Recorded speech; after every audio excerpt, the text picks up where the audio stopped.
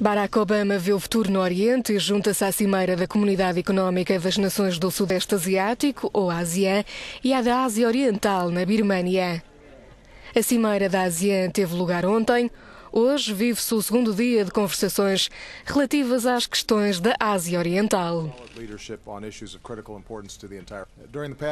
Nos últimos seis anos temos feito grandes progressos para expandir esta parceria, mas creio que estamos de acordo, podemos fazer muito mais.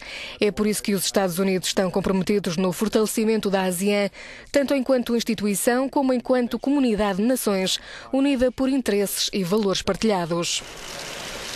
O presidente dos Estados Unidos disse aos chefes de Estado reunidos na capital da Birmânia que a intenção de Washington é reforçar as relações com a região. As cimeiras reúnem os dez países da Ásia, assim como os Estados Unidos, China, Japão, Coreia do Sul, Índia, Rússia, Austrália e Nova Zelândia. São discutidas questões regionais e internacionais nas conversações com o presidente da Birmânia. A possibilidade de uma reforma democrática é outro assunto em cima da mesa.